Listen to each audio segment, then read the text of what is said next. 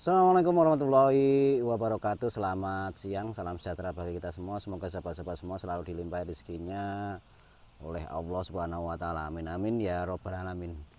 Di siang hari ini kembali bibit unggul Blitar 5758 ya Ingin membagikan sebuah pengalaman Tentu yang berkaitan dengan alpukat ya.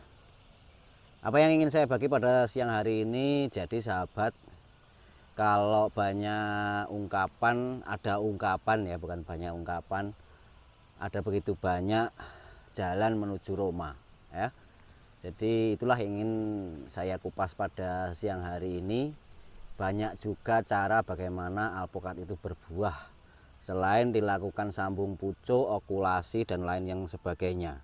Tentu syarat sambung pucuk itu bisa dipenuhi dengan beberapa hal di antaranya settling yang sudah benar-benar matang settling yang benar-benar sudah siap untuk dilakukan penyambungan. Yang kedua entris atau batang atasnya ini juga harus sudah pernah berbuah ya. Yang ketiga tentu setelah ditanam dilakukan perawatan-perawatan yang intensif.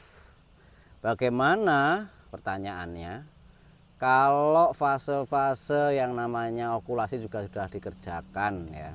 Tetap dan perawatan juga sudah berjalan tetapi alpukat dari tahun ke tahun tak mau berbuah ya.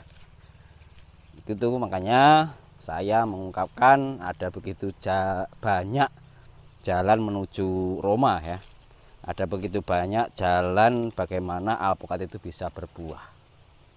Itu yang intinya siang hari ini saya ingin saya bagi. Siang hari ini saya berada di pembibitan ya. Ini yang bibit-bibitan yang kecil. Ini ada juga yang baru dilakukan penyambungan ya. Tentu sekali lagi settling yang seperti ini berdaun bawah ya dan entris atau batang atas yang kita pakai harus syarat mutlaknya sudah pernah berbuah. Satu harapannya kalau settlingnya pernah berbuah, maka dia juga akan cepat berbuah. Namun sekali lagi di lapangan banyak sekali faktor yang menjadikan alpukat itu keterlambatan dalam berbuah ya.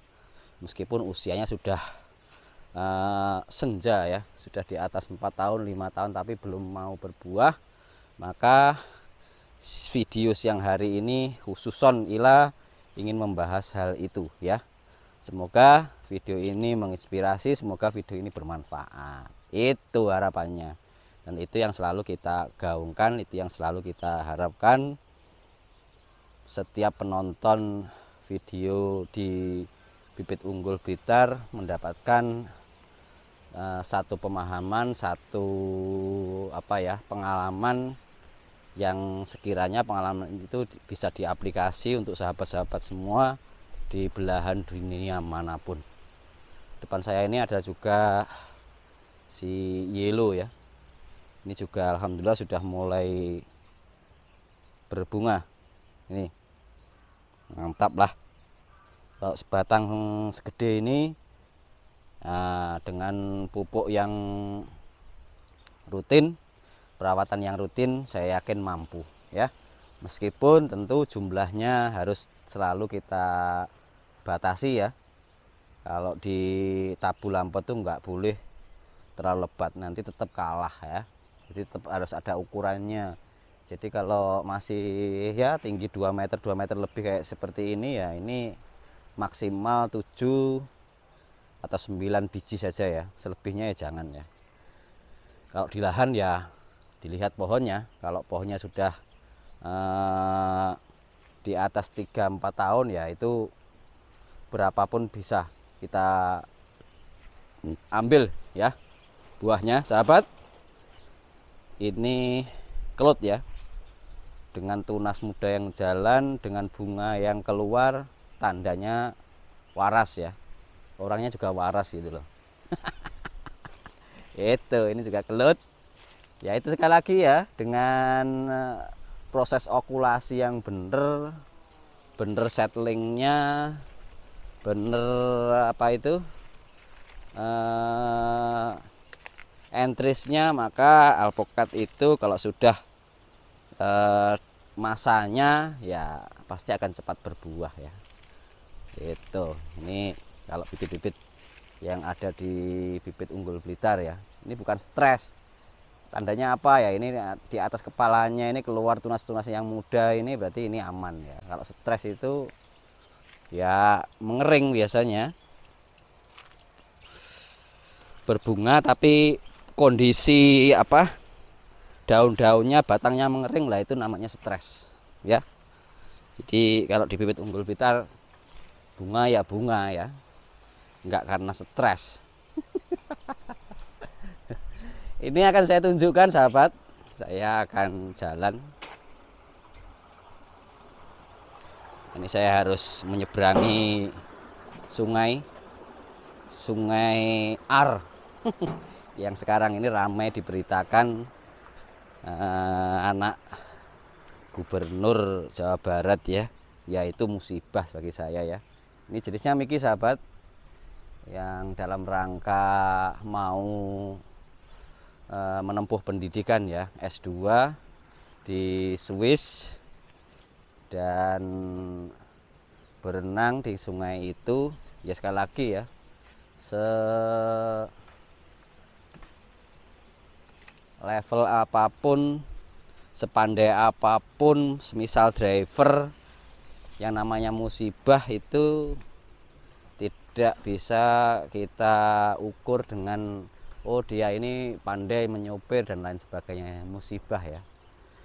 Jadi itu ya tinggal kita tetap ikhtiar sabar dan insya Allah ya kalau mau bersabar itu subur. Itu sahabat nah ini depan saya ini jenisnya alpukat kelut ya.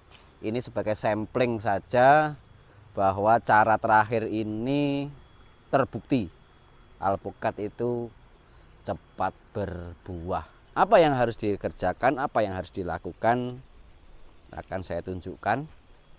Itu kelut, bunganya sudah oke okay lah ya.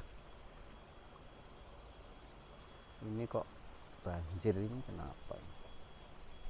Oke, di depan saya ini juga ada red Vietnam, juga mau bunga ini saya tunjukkan. Oh, ya keluar bunganya ya. Nah ini sahabat cara akhirnya adalah dilakukan satu tindakan pengeratan ya. Ini tiga jari ya lebarnya.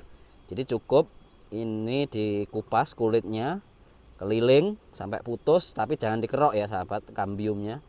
Nah dibiarkan sampai dia ketemu. Kalau sudah mulai ketemu ini tinggal sedikit pasti akan muncul bunganya. Oke? Mantap toh? Loh.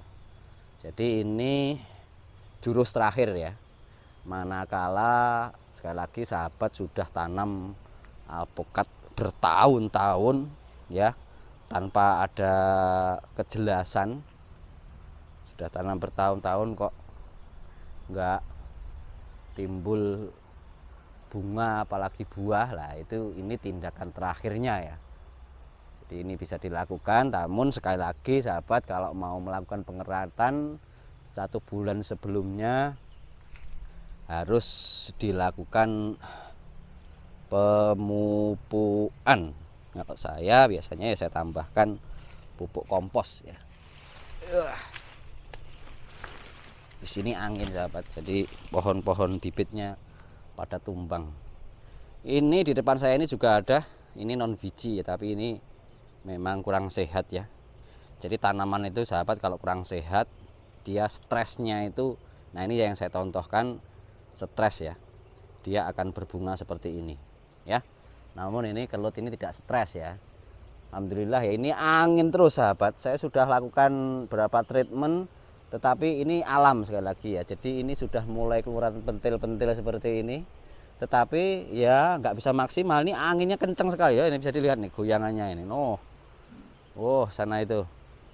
Goyangannya luar biasa ya. Ini angin faktor alam hal semacam ini eh, nggak bisa dihindari sekali lagi ya. Eh, itu.